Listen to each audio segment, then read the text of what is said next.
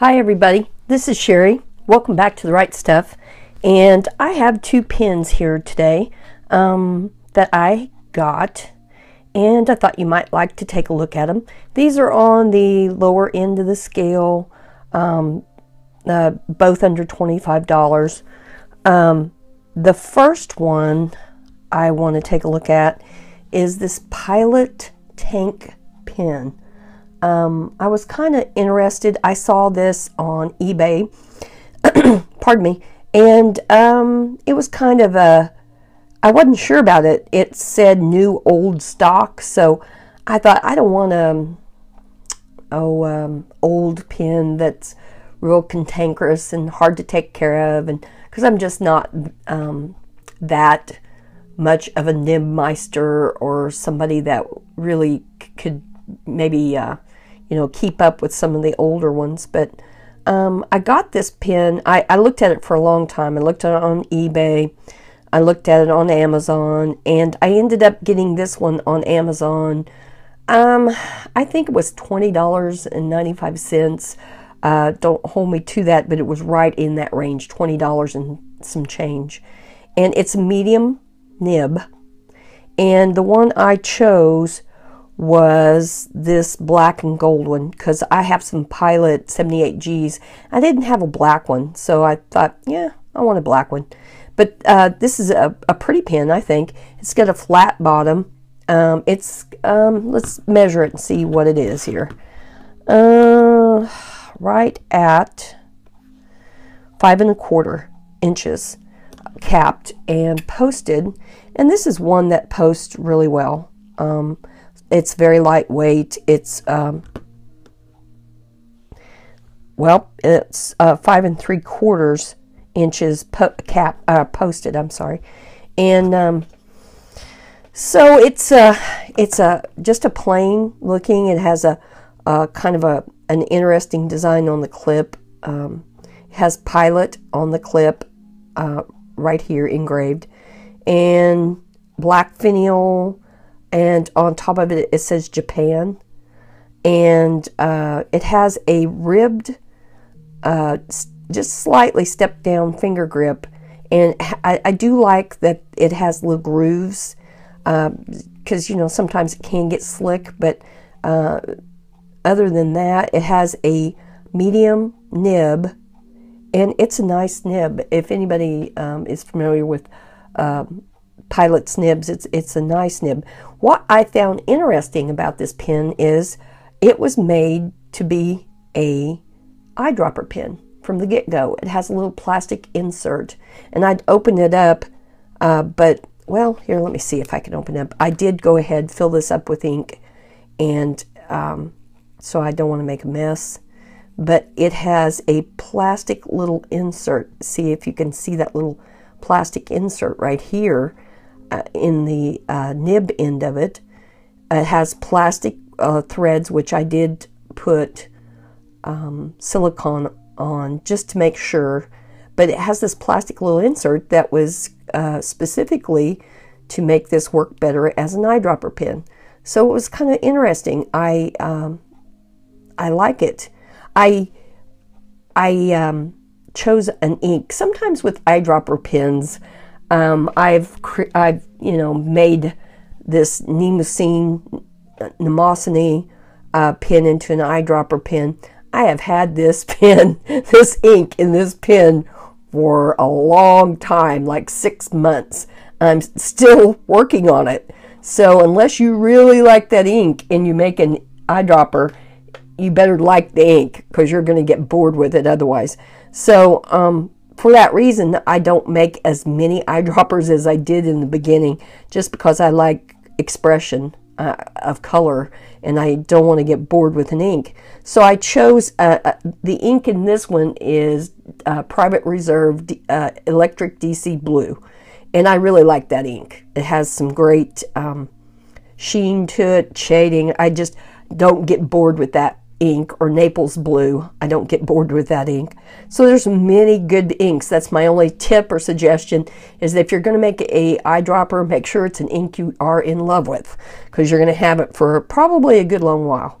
Um, so this is a, a nice uh, surprise. Uh, I had not ever got one that was specifically made for eyedropper use, and uh, I let me let me write here. I really enjoy this. Um, let's see.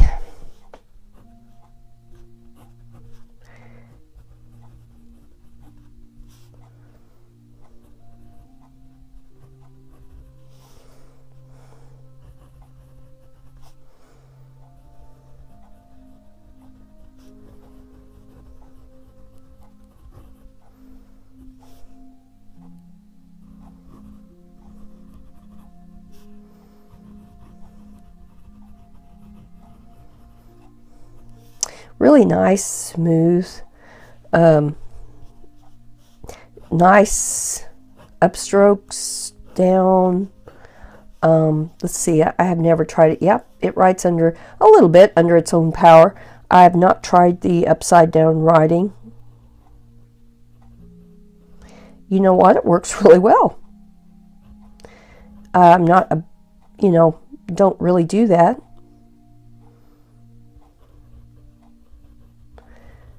So you can do that. Uh, I don't know about variation of line, uh, line variation. Not a lot. I mean, you could get a, a small amount, but it's not a lot. Um, but this is uh, a really nice find. I really did enjoy this. I like having the eyedropper capability. And there's a look at that and it's lightweight. Uh, it has eyedropper capability, nice smooth nib, um, post well, which got that off. Post well, um, nice, nice pin. I mean, inexpensive pin. It, it's not, you know, going to be as smooth as something like this Pilot Custom or something, you know, like even the Stella 90s is is nice nib, but it's really nice. I, I do like it. Um, uh, I hope you take a look at this if you're interested in it. Uh, it was just a nice little surprise. It was an inexpensive pen, $20. I think it's still on there uh, on Amazon. You, I think it's listed under Pilot Tank Pen, T A N K, Tank Pen. So here's a look at this one, uh, Pilot Tank Pen. And the, the other one I got, um, I ordered from Amazon also. It came in a blister pack. Uh, this Waterman, um, it's called a Waterman Couture, Couture, Couture, please. And um, Couture is German for culture. So I got this, and it was a, um, oh, I think it was Prime, so it was a pretty fast shipping. Uh, it's made in France. It has a pop off cap, and it also can be converted into a eyedropper. You'd, you'd have to put silicone around here or even an O ring uh, up there, but I believe it's waterproof. I haven't tested it yet, but I had read that you could do that. Um, it came with a cartridge. This is a very long cartridge. I'm not sure of the ink in there, but Waterman does make their own inks. Uh, I have one bottle of Waterman, I think uh, Serenity Blue, uh, but I'm not sure which blue this is. It wasn't. Uh, it came with it, and um, it's a blue translucent body uh, with a pop-off cap. It is a medium. Oh, no, no. This one is actually a fine nib. This is a fine nib. And even the, the uh, finger grip is translucent. You can see the ink in there. It's kind of pretty. And uh, it didn't come with a converter. And these do have proprietary uh, converters. You, I looked it up. I didn't buy one. It was ten dollars. That's a little bit annoying. Uh, if you, you know, this was uh, today. I looked it up on Amazon. It is uh, October the twentieth. uh, 2016, and it was $24.53. And it seems it doesn't wildly, um, you know, drop in price like a, a, lot of pens can, but this one did drop in price. Uh, I think three dollars. It was twenty-one dollars and forty-five cents is what I paid for this. Um, so it, it, does fluctuate a small amount uh, if you're patient, and uh, but it's right twenty-five dollars and under is usually generally what this goes for, and it does come with one cartridge. But you can, after you're done with this cartridge, uh, you can rinse it out, fill it up with whatever ink you want, reuse it. That's what I plan to do. I can make it into an eyedropper, but like I just said, you have to really love the ink you're going to put in there because you're going to have it in there. That's a big capacity uh, for ink. So I plan on just using that uh, cartridge that came with it over and over. But uh, it is a pretty, I, I, enjoy seeing this ink here. It's really, really lovely. And uh, I'll let you see the nib. It's a fairly nice size nib. And it's a fine. And the top has this interesting looking, uh, it has a hole right here in the clip. And it has uh, right Waterman uh, etched into it very faintly right here. No cap band per se because the band is, there's a little silver band right by the finger grip.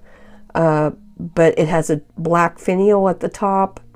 It has a logo of some kind right here, uh, but it's hard to distinguish what it is. Otherwise, it's uh, it's um, only thing I don't care for. This it's a pop off top, but this if this annoys you, but this cap really wobbles around here uh, kind of loosely, but uh, I don't know. I didn't try to post this. Let's see if it posts better than it stays on. Yeah, posts pretty good. It's lightweight. Pardon me. Um, yeah, it uh, it can be posted, and uh, let's. Oh gosh, did I shove that on there too tight? Okay, let's do the measurements on this one.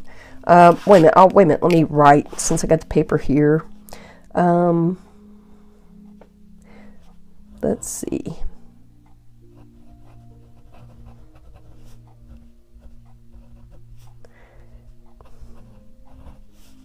It's it's it, fine is always going to be a little to me scratchier than a medium, but it's not. It's enjoyable. You know, I I don't I'm getting more used to fine, and I'm there are good times to use it.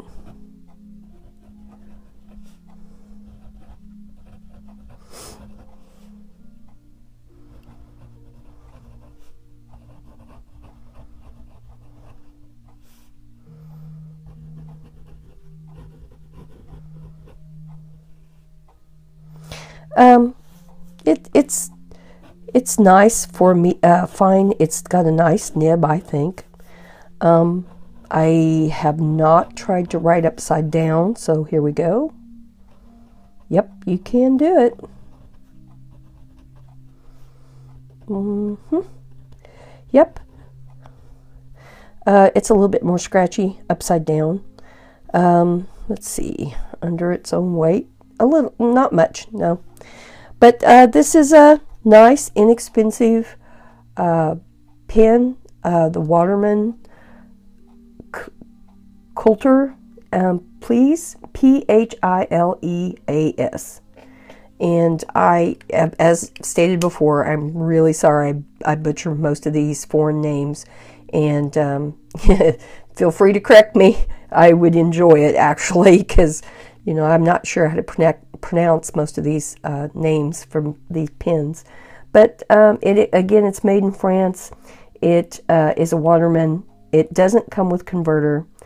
Um, it is a uh, pretty looking pen.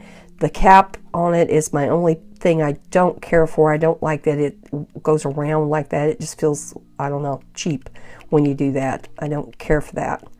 And um, but otherwise, the pen itself writes real well. It's it's pretty. It's lightweight. Um, here's a look at it. Um, it is. I didn't do the measurements. And again, I'm not sure what the ink in this is, but they do have some nice inks, and it, it was kind of a medium blue. Uh, five and a quarter, about like uh, the tank, and posted. Um, looks like again it's about five and three quarters. Five and three quarters. So real similar in size, a little bit uh, bigger round. Uh, if you like the cigar uh, pins that are a little bit, it does taper down to the end, and uh, the uh, the finger grip is nice. Uh, I don't think I'll have any problem whatsoever. It does have a little bit of a ribbed right here at the finger grip at the very top. If you grab high, that would be good. I tend to grab low, which is no problem. I don't think it'll be slick at all. So here's a look at a Waterman uh, Couture, please. Pep, please, please. Again, I am sorry. And um, here is the Pilot Tank.